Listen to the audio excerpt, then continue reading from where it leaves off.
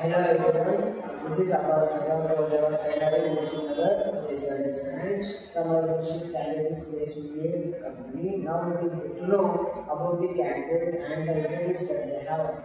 Okay, introduce yourself. Hello everyone, I'm Velka.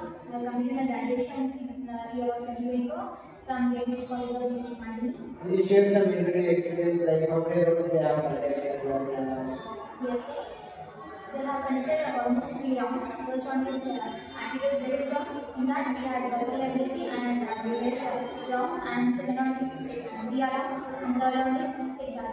India round they ask about the subjects and uh, is my resume resume based questions.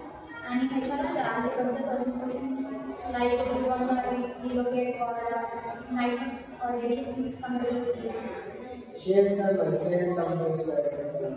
I joined uh, the Spider Engineer in the month of July 2024 as a Java developer. Here, Twitter helped a lot to improve my technical skills. Mostly the presentations, mock tests, and mock interviews helped me a lot to achieve the interview successfully and to proceed uh, in uh, facing the interviews. Thank you. Okay, we are happy that we have this new company with good package. Okay, congratulations and have a great future.